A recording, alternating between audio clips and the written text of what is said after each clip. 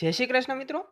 જ્યારે આપણે રફ ડાયમંડની ખરીદી કરવા જઈએ છીએ ને, ત્યારે અંદર ઘણા રંગ આવતા હોય છે કે એના શેડિંગ આવતા હોય છે ડાયમંડના તો હવે આ ડાયમંડના શેડિંગ આપણને ખ્યાલ નથી આવતા કે કયા શેડિંગનું આ છે અને એને પ્રોપર આઈડિયા ના આવતો હોય, તો એની માટે એક ઇન્ટરનેશનલ કલર પ્યોરિટી કે કલર પણ જાણી શકીએ અને એની પ્યોરિટી પણ જાણી શકીએ. તો, તે માટે જીઆઈએ એટલે કે જેમોલોજીકલ ઇન્સ્ટિટ્યૂટ ઓફ અમેરિકા તો એ લોકોએ એક આલ્ફાબેટ તૈયાર કર્યું છે. એ પ્રમાણે કલરની પ્યોરિટી આપતા હોય છે અને કલર પણ આપતા હોય છે. તો જનરલી સૌથી પહેલો કલર આવે છે ડી અને એની રેન્જ હંમેશા વધારે હોય છે. જેમ તમે આલ્ફાબેટમાં ડાઉનવર્ડ્સ જતા જાઓ, એવી રીતે એની જે પ્રાઇસ રેન્જ છે એ પણ ઘટતી જતી હોય છે.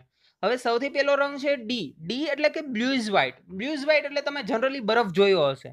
તો બરફની શેડિંગ કેવું આવે છે? એકદમ બ્લુ ઇઝ વ્હાઇટ. વ્હાઇટ ટાઈપનું જ આવે, પણ બ્લુઝ વ્હાઇટ આવતું હોય છે. તો એને આપણે ડીમાં મૂકવાનું છે. ત્યાર પછી ઈ કલર. ઈ કલર એટલે સિલ્વર વ્હાઇટ તમે ચાંદી તો જોઈ હશે. તો ઈ કેવી? ચાંદી સિલ્વર શેડ એનો પડતો હોય. તો એ જ પ્રમાણે જો આપણે રફ ડાયમંડ હશે તો એનું સિલ્વર ટાઈપનું શેડિંગ પડતું હશે અને એ આઈડિયા આવી જ જોઈએ કે આ તૈયાર થશે.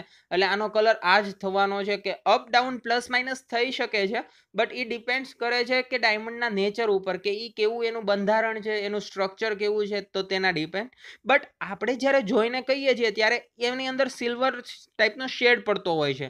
તો એને આપણે ઈમાં મૂકશું. ત્યાર પછી એફ સિરીઝ એફ સિરીઝ એટલે કે વ્હાઇટ હવે વ્હાઇટમાં શું આવતો કે જનરલી તમે ભણતા હશો ત્યારે બી બોર્ડ ઉપર ચોકથી લખતા આપણે ટીચર તો જ્યારે એ બોર્ડ જે ચોક છે, તો એનો કલર કેવો છે? એ પ્રકારે એફ કલરમાં પણ ડાયમંડ જે એની રેન્જમાં આવતા હશે, તો એ બધા ચોક ટાઈપના કલર હશે. વ્હાઇટ જ હશે બટ ચોક ટાઈપનો વ્હાઇટ હશે. ત્યાર પછી જી કલર જી છે એ ઓફ વ્હાઇટ છે, એટલે જ્યારે તમે દિવાલ પર રંગ કરતા હોય પેન્ટ કરતા હો ત્યારે એનો વ્હાઇટ કેવા શેડિંગનો દેખાય છે કે એ ઓફ થોડોક ડલ ટાઈપનો પડી ગયો હોય, તો તે છે.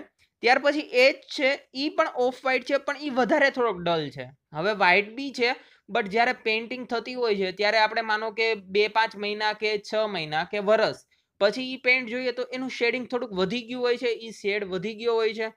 જે થોડોક પીળાશ પડતો થઈ ગયો હોય છે, તો એ એ જ કલરમાં આવે છે.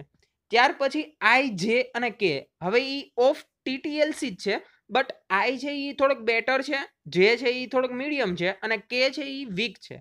હવે એની અંદર એલોનું શેડિંગ પડતું હોય છે. આઈ છે તો કે એની અંદર આપણે જનરલી જોઈએ તો દસ ટકા જેવું યલો શેડિંગ હોય છે. પછી જે જોઈએ તો એની અંદર વીસ ટકા જેવું શેડિંગ હોય છે અને કે જોઈએ એમાં ત્રીસ ટકા જેવું યલો શેડિંગ હોય છે. એટલે કે આઈ હોય એ થોડોક વધારે વ્હાઇટ હશે પછી જે છે એ થોડોક ઓછો વ્હાઇટ હશે અને કે છે એમાં થોડુંક શેડિંગ વધારે યલોનું હશે. તો એ પ્રમાણે આઈ જે કેના સિરીઝ પડે છે. ત્યાર પછી એલ એમ અને એન તો કે એલ અને એમમાં શું હોય છે?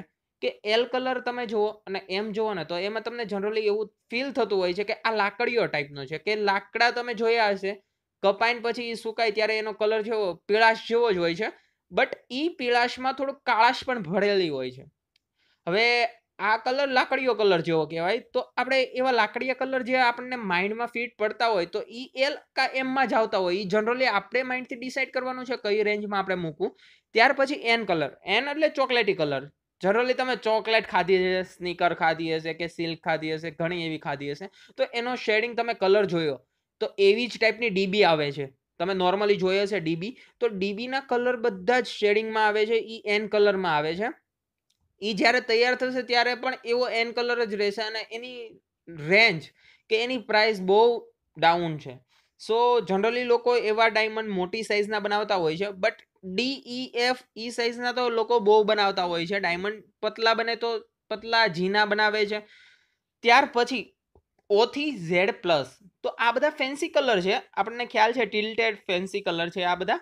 ત્યાર પછી એબીસી જનરલી કેમ સ્ટાર્ટ કર્યું છે? ડીથી તો જનરલી આ એક ક્વેશ્ચન આપણા માઇન્ડમાં ક્રિએટ થાય કે આ લોકોએ ડીથી કેમ કલર રેન્જ સ્ટાર્ટ કરી છે? એબીસી કલર નથી એ લોકોએ અલ્ફાબેટ ઇન્ક્લુડ કર્યા.